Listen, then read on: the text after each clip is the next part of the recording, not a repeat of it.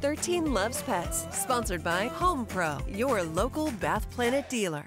Let's say hello to our furry friends. First up, somebody who loves to watch TV. This is Tallie, courtesy of Irving from Whitehall when she's not tuning into 13 on your side. Tallie loves the outdoors and actually just returned from her first pheasant hunting trip in Iowa. Aw, thanks for watching, Tallie. How about this festive guy? This is two-year-old Winston, courtesy of Cynthia from Fennville. Winston loves to go out for walks and can perform lots of tricks. If you'd like to see your pets on TV, text PETS to 616-559-1310. Looks like a Dr. I Seuss don't, character. I don't think Winston likes getting dressed up. Yeah. Oh, I don't know.